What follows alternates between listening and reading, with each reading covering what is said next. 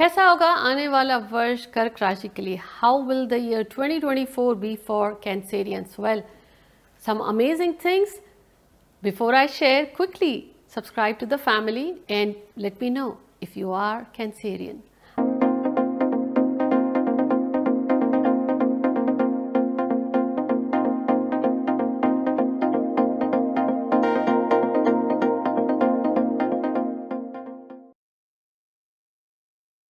hi everyone this is Jaya Karamchandani and welcome to the channel और आज आपसे बात कर रही हूँ आने वाला वर्ष 2024 2024 कैसा होगा आपके लिए? 2024 में कुछ खास चीज़ें हैं आपके रिश्ते के लिए। तो अगर आप सिंगल थे अपॉर्चुनिटीज़ हैं you may find someone new इस साल नया something new new beginning is a buzzword for you moon की प्रधानता है इस राशि वालों पे। तो ups and downs last year कुछ खास था, कुछ खास नहीं भी था। इस साल कर्मठता लानी पड़ेगी। बात करते हैं आपकी सेहत से। इस साल आपको अपनी इमोशनल स्टेबिलिटी पे ध्यान देना है।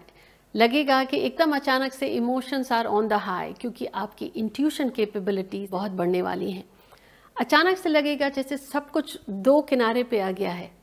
आपको रेगुलरली अपनी सेहत को ठीक रखने के लिए मेडिटेशन बहुत इंपॉर्टेंट हो जाता है। मन में अगर कोई ऐसी बात है जो चुभ रही है तंग कर रही है, परेशान कर रही है let it go you have to learn 2024 में इस साल का बेस्ट सपोर्ट लेने के लिए अपनी उन सारी बातों को जो अंदर में परेशान कर रही हैं let it go emotional stability उतनी इंपॉर्टेंट है जितनी आपके लिए प्रोफेशनल स्टेबिलिटी तो हेल्थ के दृष्टिकोण से मेडिटेशन ज़रूर करिए। और अगर हो सके तो सूर्य नमस्कार ज़रूर करिए। अगर वो भी आप नहीं कर सकते तो ऑफ़िस से आते जाते या घर पे 10 मिनट ज़रूर सनलाइट में बैठे। वो आपकी इम्यूनिटी के लिए भी अच्छा है और ग्रहों के लिए अच्छा है। इनकम की बात कर लेते हैं। करियर के दृष्टिकोण से करियर की स्टडी इनकम लाने के लिए आपको ग्रह ज़रूर ये बता रहे हैं कि किसी नए जॉब के चांसेस हैं। अपॉर्चुनिटीज़ मिलेंगी, तब जब आप ढूंढेंगे अपने काम में थोड़े से आप नाखुश हैं। आपको लगता है कुछ नया करना चाहिए तो नया खोजना पड़ेगा आपको।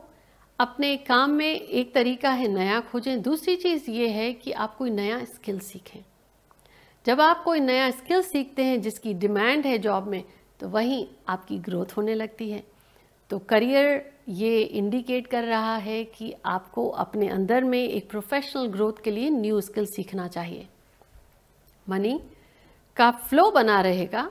आप जिस जॉब में हैं कॉन्टिन्यूसली अगर आप अपनी क्रिएटिविटी को उसमें ले आते हैं, आप टीचिंग में अच्छे हैं, आप मिलनसार हैं, लोगों को समझते हैं, लोगों को लेकर साथ में चलते हैं, इसी स्किल को इस साल भी यूज़ करिए। जब मिला के चलते हैं आप तो फिर वो प्रोजेक्ट मैनेजमेंट स्किल हो, फिर टीचिंग हो एजुकेशन हो एडवाइजरी हो कंसल्टिंग हो। आप सब में अच्छा कर सकते हैं, इस बात का ध्यान रखिएगा। ग्रोथ है एजुकेशन के लिए नया स्किल इंपॉर्टेंट है। इस साल का एक खास ये रहेगा कि आपको लगेगा कि जॉब के साथ, परिवार की ज़िम्मेदारी के साथ अध्यात्म की तरफ़ एक रुझान बढ़ेगा। या आपके मन में अचानक से आएगा कि चलो एस्ट्रोलॉजी सीख लेते हैं न्यूमरोलॉजी सीख लेते हैं, रेकी, वास्तु या हीलिंग या बहुत ज़्यादा ऐसा लगेगा कि एनर्जी अपनी अलाइन कैसे करें? मन खुश कैसे रहे? इस साल आपके डिसिप्लिन और रूटीन से आपके अंदर वही चीज़ स्टेबलाइज हो जाएगी। है ना कमाल की बात? क्योंकि बस वर्ड या एनर्जीज हैं इस साल की अध्यात्म। एजुकेशन बच्चों की हो या आपकी हो, बच्चों के साथ समय जब आप स्पेंड करें तो ऐसा लगता है आप बच्चे हैं, वो माँ बाप हैं। क्योंकि आपकी बात मानते नहीं। आप ये कुछ कहते हैं, वो कुछ और कहते हैं। तो उन्हीं चीज़ों को बैलेंस करने के लिए डिसिप्लिन तो लाना पड़ेगा, लेकिन आप अपने अंदर ये नोटिस करेंगे कि बगैर ज़िद्दी हुए, बगैर ज़िद किए या डांटे यू हैव क्लैरिटी कि जैसे अगर ये करना है तो उसके लिए आपको इतना समय पढ़ाई पे देना है। बच्चों को डिसिप्लिन में लाने के लिए लेट देम डिसाइड बच्चे आजकल बहुत स्मार्ट होते हैं। सिर्फ़ अगर दिए जा रहे हैं आप और उनको ये नहीं सिखाया कि क्यों आपको वो करना है, तब नहीं समझते। Give them the logic and infuse discipline intuition and psychic abilities आपकी बहुत बढ़ने वाली हैं, साथ ही साथ मूथ स्विंग क्योंकि आपको ऐसा लगेगा, पता नहीं क्या हो रहा है। बैलेंस करने के लिए, योगा एंड मेडिटेशन आपके लिए बहुत अच्छा है। अपने लकी कलर्स को यूज़ करें। आपको हेल्प होगी।